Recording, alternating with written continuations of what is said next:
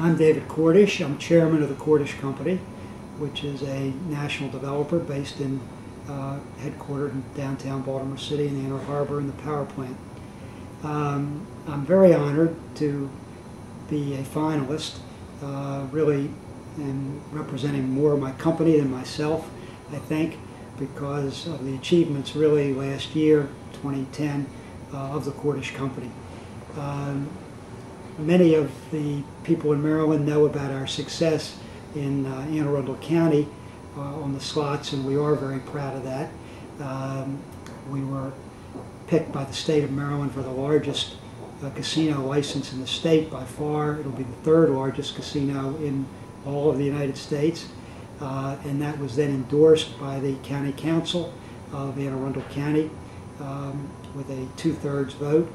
And then, uh, very excitingly for us, uh, an overwhelming uh, referendum vote affirming the vote of the county council.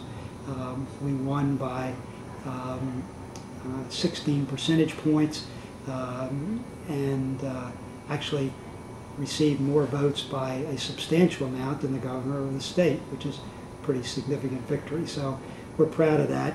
And I think we did it um, based on the merits of the site at Arundel Mills, based on the jobs and the revenue and the taxes we're going to create locally, and the fact that we're the home team.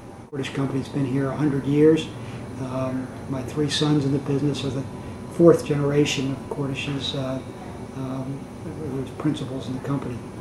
Uh, we also had a very good year people don't know as much about in downtown Baltimore. Um, this is um, where our headquarters are, as I said, and we're just finishing up a major renovation of Power Plant Live. Uh, maybe our biggest achievement in downtown Baltimore was that people don't know about so much is we run the amphitheater in Pier 6 in Inner Harbor, which we took over from the city some years ago. It was uh, not doing well. And last year we had 40 concerts and uh, uh, ran it very profitably for the city.